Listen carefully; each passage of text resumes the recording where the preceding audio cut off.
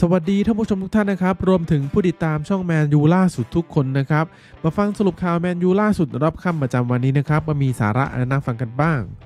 ล่าสุดนะครับมีข่าวรายงานออกมาว่าสโมสรแมนเชสเตอร์ยูไนเต็ดกระตือรือร้นที่จะให้ไมเคิลโอลิเซ่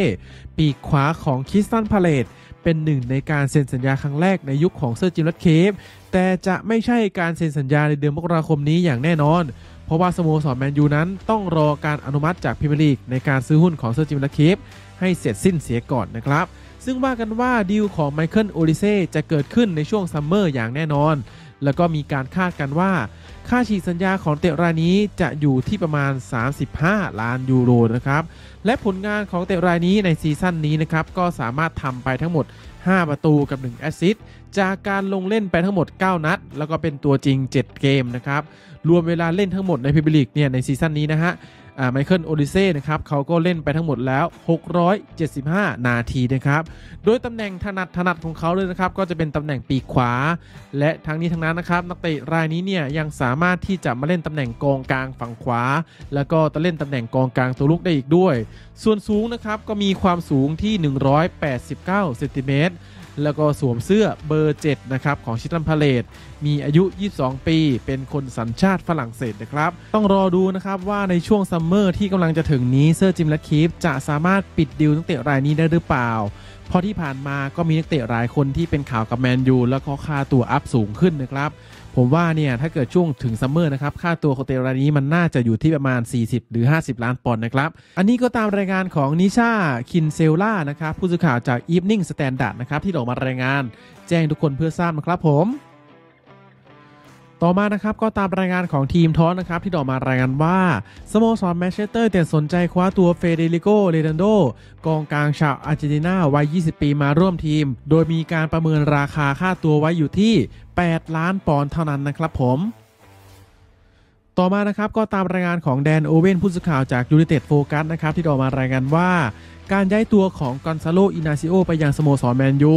มีความซับซ้อนอย่างมาก เนื่องจากว่าสโมสรพยายามหลีกเลี่ยงกฎการเงิน ด้วยเหตุนี้ทำให้กอนซาโลอินาซิโอเลือกที่จะย้ายไปสโมสรเรอัลมาดริดมากกว่าที่จะมาสโมสรแมนเชสเตอร์ยูไนเต็ด โดยว่ากันว่าในตอนนี้สโมสรแมนเชสเตอร์ยูไนเต็ดนั้นโฟกัสแค่ดีลเดียวก็คือดีลของโตดิโบจากทีมนีซนั่นเองนะครับ ต่อมานะครับก็ตามรายงานของเดอะมิร์เรอร์นะครับที่ออกมารายงานว่าฮันนีบาลกำลังพิจารณาทางเลือกของเขาในเดือนมกราคมนี้ โดยมีการคาดการณ์กันว่าฮันนีบาลอาจจะโดนปล่อยยืมตัวในช่วงเดือนมกราคม ถ้าหากคาเซมิโรและเมสันเมาท์กลับมาที่สโมสรแมนยูนะครับต่อมานะครับ อันนี้ก็อยากให้ทุกคนฟังหูไว้หูนะครับ คือตามรายงานของเดอะซันนะครับได้ออกมารายงานว่า ในตอนนี้ผู้บริหารของแมนยูหลายๆ คนเริ่มไม่พอใจการวางตัวของคีวอส เอเย่นต์ของเอริกเทนฮากมากขึ้นเรื่อยๆ โดยผู้ข่าวมองว่าตัวแทนหรือเอเย่นต์ของเอริกเทนฮากเนี่ยเริ่มมีบทบาทในการซื้อนักเตะให้เอริกเทนฮากมากขึ้นเรื่อยๆ ทั้งราสมุสฮอยลุนด์แอนโทนีอัมราบัตและนอกจากนี้แล้วนะครับ เอเย่นต์ของเทนฮากเนี่ยก็ยังไปชักชวนนักเตะ academy ของแมนยู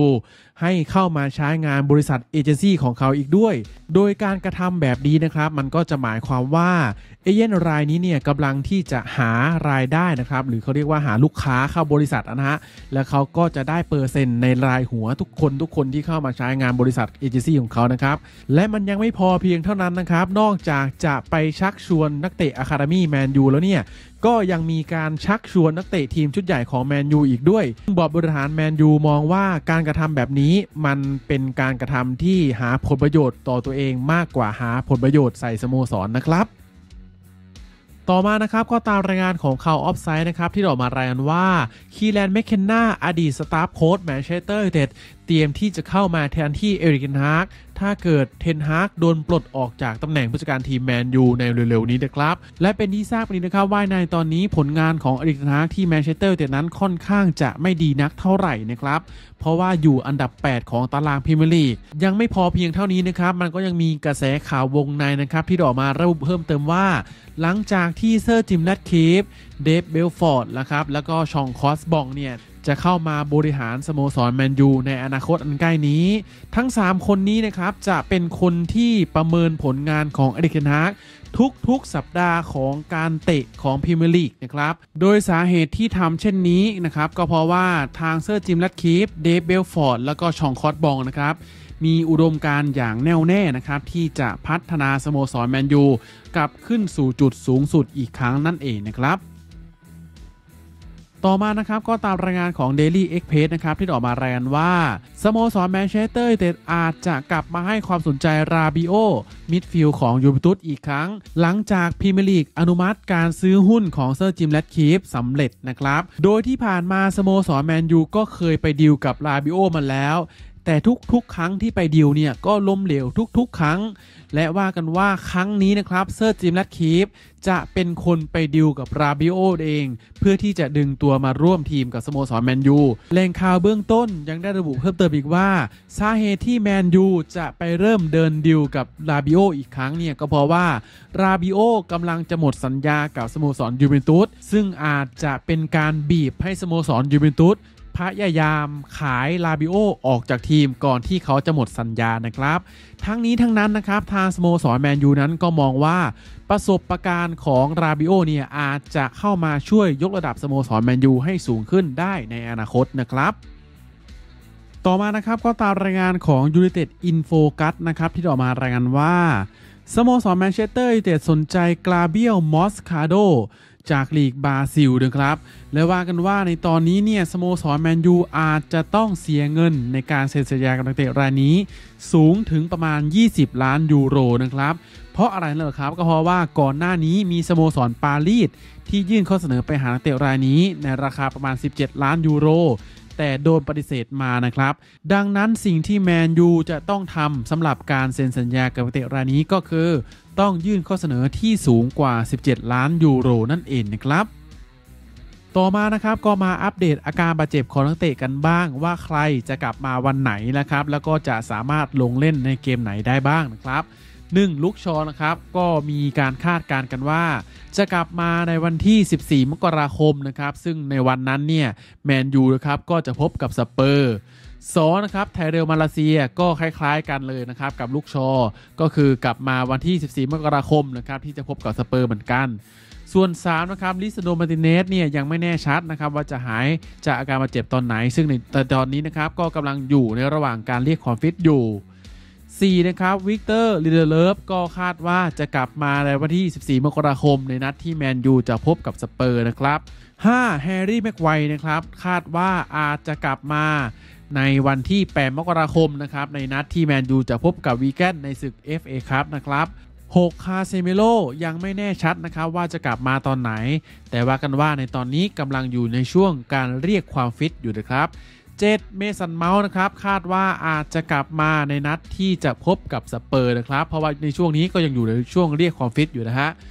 และคนที่ 8 นะครับ ก็จะเป็นอองโตนี่มาร์กซิยาลนะครับ ที่คาดว่าอาจจะกลับมาในเกมที่แมนยูจะพบกับวีแกนในวันที่ 8 มกราคมนะครับส่วนอังเดรโอนาน่านะครับในช่วงนี้ก็กำลังอยู่ในระหว่างการเจรจากับทีมชาติแคเมรูน เรื่องการชะลอไม่ให้อังเดรโอนาน่าเข้าร่วมแคมป์ทีมชาติแคเมรูน เพราะว่าทีมงานของเทนฮากต้องการจะให้อังเดรโอนาน่า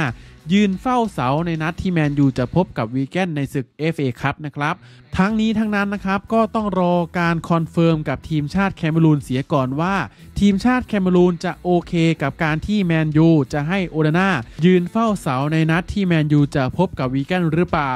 ถ้าหากว่าทีมชาติแคเมรูนไม่โอเคนะครับ ก็หมายความว่าสโมสรแมนยูจะต้องใช้งานเอาตายไบยินเดียลงเฝ้าเสาแทนนั่นเองนะครับ สุดท้ายนี้นะครับก็อยากให้ทุกคนนึกถึงคำพูดของเอริกคันโตนาที่เคยกล่าวว่า คุณสามารถเปลี่ยนเมีย เปลี่ยนพรรคการเมือง หรือเปลี่ยนศาสนาได้ แต่คุณไม่มีวันที่จะเปลี่ยนใจไปเชียร์ทีมบอลทีมอื่นได้หรอก ดังนั้นนะครับ ผมอยากให้พวกเราเราสาวกปีศาจแดงทุกท่าน ร่วมแรงร่วมใจกันเชียร์ ไม่ว่าจะแพ้ ไม่ว่าจะชนะ เราก็จะเชียร์ทีมปีศาจแดงไปด้วยกันนะครับ เพราะเราคือเราสาวกปีศาจแดงนะครับ อย่าลืมกดไลค์ กดแชร์ กด Subscribe เพื่อเป็นกำลังใจให้ผมทำคลิปต่อไปด้วยนะครับ